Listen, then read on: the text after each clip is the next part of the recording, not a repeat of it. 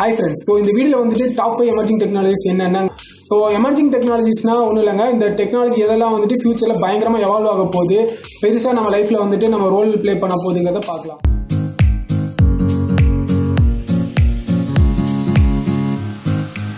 So இந்த video வந்துட்டு நான் டாப் ஃபைவ்ல ரேட் பண்ணியிருக்கேன். ஃபைவ்லேருந்து அப்படியே நான் ஒன் வரை உங்களுக்கு சொல்கிறேன் என்னோட எல்லாமே என்னோட லிஸ்ட் தான். ஸோ நான் என்னென்ன ப்ரெடிக்ட் பண்ணுறேனோ அதை வச்சு நான் அந்த லிஸ்ட் சொல்லியிருக்கேன். ஸோ நம்பர் ஃபைவ் என்னென்னு பார்த்தீங்கன்னா இன்டர்நெட் ஆஃப் திங்ஸ் எந்த ஹியூமனோ இல்லைன்னா மேன்மேட் திங்ஸோ அதில் வந்துட்டு நம்ம வந்து ஒரு ஐபி அட்ரஸ் அசைன் பண்ணி அதை வந்து இன்டர்நெட்டில் கம்யூனிகேட் பண்ண வைக்க முடியும்னா அது எல்லாமே இன்டர்நெட் ஆஃப் திங்ஸ்னு சொல்லலாம். எக்ஸாம்பிளுக்கு சொல்லணும்னா இப்போ ஒரு ஹியூமனோட உடம்புல வந்துட்டு நம்ம வந்து ஒரு சின்ன ப்ராசஸரோ இல்லை சிப்போ இன்க்ளூட் பண்ணி அந்த சிப்பை வந்து நம்ம வந்து அவரோட ஹார்ட் ரேட்டை வந்து மானிட்டர் பண்ணி அந்த பக்கத்தில் இருக்க கம்ப்யூட்டருக்கோ சவருக்கோ சிங்க் பண்ணி சென்ட் பண்ண வைக்கிறோம் அப்படின்னா அது வந்து ஒரு இன்டர்நெட் ஆஃப் திங்ஸ் தான். அதே மாதிரி இப்போ நம்ம வீட்டில் வந்து ஃபிலிப்ஸ் டியூ லைட்டோ இல்லைன்னா நிறைய ஸ்மார்ட் லைட்ஸ் இருக்கு. ஸ்மார்ட் ரெஃப்ரிஜிரேட்டர் கூட இப்போ நிறைய டெவலப் பண்ண ஆரம்பிச்சிட்டாங்க. அது எல்லாமே இன்டர்நெட்ல ஒவ்வொன்றுக்குள்ள ஒன்று கம்யூனிகேட் ஆகிட்டே இருக்கும். அதுவே நம்ம மேனுவலாக டேட்டாஸ் வந்து சிங்க் பண்ணணும் தேவையில்ல. அதுவே அது வந்து ஒரு குறிப்பிட்ட டைமுக்கு சிங்க் பண்ணியிருப்பாங்க டேட்டா சென்ட் பண்ணுறதுக்கு அதுவே சென்ட் ஆகிட்டு இருக்கும். எல்லா திங்ஸையும் வந்து நம்ம வந்து இன்டர்நெட்ல இன்க்ளூட் பண்ணிட்டே வந்துட்டு இருக்கோம். இப்போ யூஸ்வலாக பார்த்தீங்கன்னா ஸ்மார்ட் ஃபோன் அண்ட் லேப்டாப் இதெல்லாம் மட்டும்தான் நம்ம முன்னாடி இன்டர்நெட்டில் இன்க்ளூட் பண்ணியிருந்தோம். இப்போ சின்ன சின்ன திங்ஸ் எல்லாமே இன்டர்நெட்டில் சிங்க் ஆகிட்டு வந்துட்டே இருக்கு. ஸோ இதுக்கு ஒரு பெரிய ஃபீச்சர் இருக்கு. நம்பர் ஃபோர் பார்த்தீங்கன்னா ஏஆர் அண்ட் விஆர் ஸோ ஏஆர்னா ஆகுமெண்டட் ரியாலிட்டி விஆர்னா விர்ச்சுவல் ரியாலிட்டி ஸோ விஆர் பற்றி நிறைய நீங்கள் ஆல்ரெடி நீங்களே யூஸ் பண்ணியிருப்பீங்க இப்போ ரொம்ப சீப்பான விஆர் ஹெட்செட்லாம் கிடைக்குது. இப்போ கூகுள் கார்ட்போர்ட் கூட கொண்டு வந்துட்டாங்க. எப்படின்னு பார்த்தீங்கன்னா ஒரு சின்ன கார்ட்போர்ட் மாதிரி தான் இருக்கும். உள்ள ரெண்டு லென்ஸ் இருக்கும். அதை நீங்கள் வந்து ஸ்மார்ட் ஃபோன் அதில் ஃபிக்ஸ் பண்ணி நீங்கள் இப்படி மாட்டி பார்க்குறீங்கனாலே உங்களுக்கு தெரிஞ்சிடும் நீங்கள் இந்த இடத்துல இருக்கிற மாதிரி உங்களுக்கு விர்ச்சுவலாக ஃபீல் பண்ண வைக்க முடியும். விஆர் வந்து இன்னும் பல எக்ஸ்ட்ரீமுக்கு அதை கொண்டு போக போகிறாங்க ஏன்னா கேமிங்லேருந்து கேமிங் கண்ட்ரோல்லேருந்து இருந்து பல கேம் டெவலப்பர்ஸ் எல்லாமே வந்து இதுக்காக ஒர்க் பண்ணிட்டு இருக்காங்க. இப்போ ஆகுமெண்டட் ரியாலிட்டி எப்படின்னு பார்த்தீங்கன்னா இப்போ ஒரு நம்ம ரியல் லைஃப்பில் வந்துட்டு ஒரு கம்ப்யூட்டர் அனிமேட்டட் இமேஜையோ இல்லைன்னா ஒரு கிராஃபிக்கல் இமேஜோ கொண்டு வர முடிஞ்சா எப்படி இருக்கும்? அதான் ஆகுமெண்டட் ரியாலிட்டி இதுக்கு ஒரு கரெக்டான எக்ஸாம்பிள் உங்களுக்கு ஈஸியாக சொன்ன புரியுனா போக்கிமான் கோ வந்துட்டு ஒரு ஆகுமெண்டட் ரியாலிட்டி கேம் தான். அது எப்படின்னு பார்த்தீங்கன்னா நம்ம ரியல் லைஃபோட அந்த கேமை வந்து சிங்க் பண்ணியிருப்பாங்க. அந்த கேம் வந்து ரியல் லைஃப்லேயே விளாட முடியும். ஸோ இப்போ நீங்கள் ரியல் லைஃப்லேயே அவங்க திருப்பினீங்கன்னா அங்கே உங்களுக்கு ஒரு போக்கிமான் தெரியும். அனிமேஷன் வந்து உண்மையில கிடையாது. ஆனால் அவங்க ரியல் லைஃப்ல வந்து இருக்கிற மாதிரி உங்களால் கொண்டு வர முடியும். நம்பர் த்ரீ பார்த்தீங்கன்னா big data and cloud computing so big data cloud computing ரெண்டுமே வேற வேறு டெக்னாலஜி தான். இருந்தாலும் ரெண்டுத்தையுமே நான் ஒரே நம்பர் த்ரீல வச்சிருக்கேன். ஏன்னா இது ரெண்டுமே பெரிய இம்பாக்ட் தரப்போகுது நம்ம ஃபியூச்சரில் பிக் டேட்டா என்னன்னு பார்த்தீங்கன்னா ஒன்றும் இல்லைங்க. இப்போது நேம்க்கு ஏற்ற மாதிரியே தான் அது பெரிய டேட்டா ஆனால் அந்த டேட்டா எப்படி ஜென்ரேட் ஆகுதுன்னா ஒவ்வொரு இண்டிவிஜுவலுமே நீங்கள் வந்து ப்ரௌஸ் பண்ணும்போது உங்களுக்கு தெரியாமல் நீங்கள் டேட்டாஸ் வந்துட்டு அந்தந்த சர்வருக்கு அந்தந்த கம்பெனிக்கு நீங்கள் கொடுத்துட்டே தான் இருக்கீங்க. இந்த டேட்டாஸ் எல்லாத்தையுமே அவங்க வந்து ஒவ்வொரு பர்சனல் டேட்டாஸாக கலெக்ட் பண்ணி அது வந்து ஒரு பெரிய சர்வரில் அவங்க ஸ்டோர் பண்ணி வைக்க போகிறது தான் அந்த பிக் டேட்டா இது வந்து ஒரு பர்டிகுலர் இண்டிவிஜுவல் மட்டும் கிடையாது. உலகத்தில் இருக்க எல்லா இண்டிவிஜுவல் பற்றியும் அவங்க டேட்டாஸ் வந்து தனித்தனியாகவே சேவ் பண்ணி வச்சுருப்பாங்க. இதை வச்சு அவங்க வந்து ஒரு பேட்டர்ன் மாதிரி அவங்க வந்து அனலைஸ் பண்ண முடியும் இந்த டேட்டாஸ் எல்லாம் வச்சு.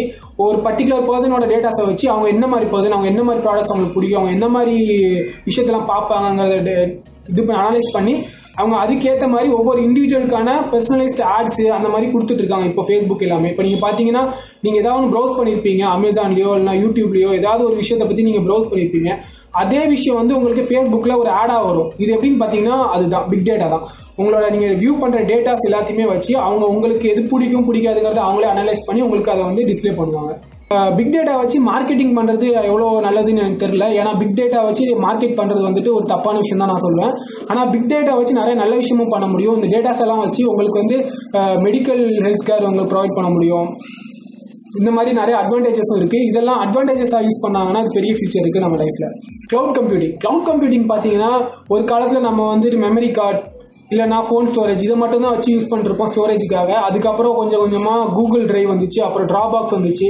இது மூலிமா நீங்கள் வந்துட்டு க்ளவுட் ஸ்டோரேஜ் யூஸ் மாற ஆரம்பிச்சிங்க. ஸோ உங்களோட டேட்டாஸ் எல்லாத்தையும் க்ளவுடில் ஸ்டோர் பண்ண ஆரம்பிச்சிங்க.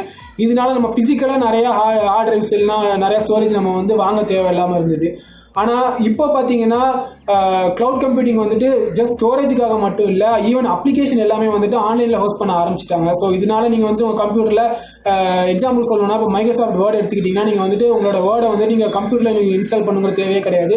நீங்கள் மைக்ரோசாஃப்டோட online office three sixty five க்ளவுடை use பண்ணிக்கலாம். அது மூலமாக நீங்கள் டாக்குமெண்ட்ஸ் எடிட் பண்ணுறது ஆன்லைனில் சிங்க் பண்ணுறது யூஸ் பண்ணிக்கலாம். அதே மாதிரி கூகுளில் பார்த்தீங்கன்னா கூகுள் டாக்ஸ் வந்துருச்சு. ஸோ இந்த மாதிரி சின்ன சின்ன அப்ளிகேஷன் எல்லாமே இப்போ க்ளவுடில் ஹோஸ்ட் பண்ண ஆரம்பிச்சிட்டாங்க. நீங்கள் வந்து உங்கள் டெஸ்க்டாப்பில் எந்த அப்ளிகேஷன் இன்ஸ்டால் பண்ண தேவையில்ல எந்த ஒரு விஷயத்தையும் டெஸ்க்டாப்பில் நீங்கள் லோக்கல் டெஸ்க்டாப்பில் வச்சு யூஸ் பண்ண தேவையில்லை. எல்லாமே க்ளவுடில் தான் நடக்கும். நம்பர் டூ பார்த்தீங்கன்னா பிளாக் செயின் ஸோ பிளாக் செயினை பற்றி எக்ஸ்பிளைன் பண்ணுறதுக்கு முன்னாடி பிட்காயினையும் சொல்லிடுறேன். ஏன்னா பிட்காயினுக்கும் பிளாக் செயினுக்கும் ஒரு ரிலேஷன் இருக்குது என்னென்னு பார்த்தீங்கன்னா பிட்காயினில் யூஸ் பண்ணுற டெக்னாலஜி என்னென்னா பிளாக் செயின் தான். ஸோ இந்த பிளாக் செயின் டெக்னாலஜி பற்றி யூஸ் பண்ணி தான் அவங்க வந்துட்டு இந்த பிட்காயினுங்கிற ஒரு கிரிப்டோ கரன்சி வந்து ரொம்ப செக்யூர்டாக வச்சிருக்காங்க. உங்கள் பேங்கிங் சைட்ஸ்லாம் பார்த்தீங்கன்னா சென்ட்ரலைஸ் நெட்ஒர்க் இருக்கும். இப்போ டிரான்சாக்ஷன் எல்லாமே வந்து அந்த சென்ட்ரலைஸ்டு சர்வருக்கு போயிட்டு அதுலேருந்து தான் அத்தன்டிகேட் ஆகி தான் உங்களுக்கு டிரான்சாக்ஷன் நடக்கும். ஸோ எல்லா டேட்டாஸும் இந்த சென்ட்ரலைஸ்டு சர்வரில் தான் ஸ்டோர் ஆகிருக்கும் இப்போ வந்து பிளாக் செயினில் வந்து ஒரு சென்ட்ரலைஸ்டு நெட்ஒர்க்கே கிடையாது. எல்லாமே பியர் டு பியர் கனெக்ஷன் தான். பியர் டு பியர் கனெக்ஷன்னா அந்த நெட்ஒர்க்கில் இருக்கிற ஒவ்வொரு பர்டிகுலர் ஹோஸ்ட்டுமே ஒரு சர்வர்னு வச்சுக்கோங்களேன்.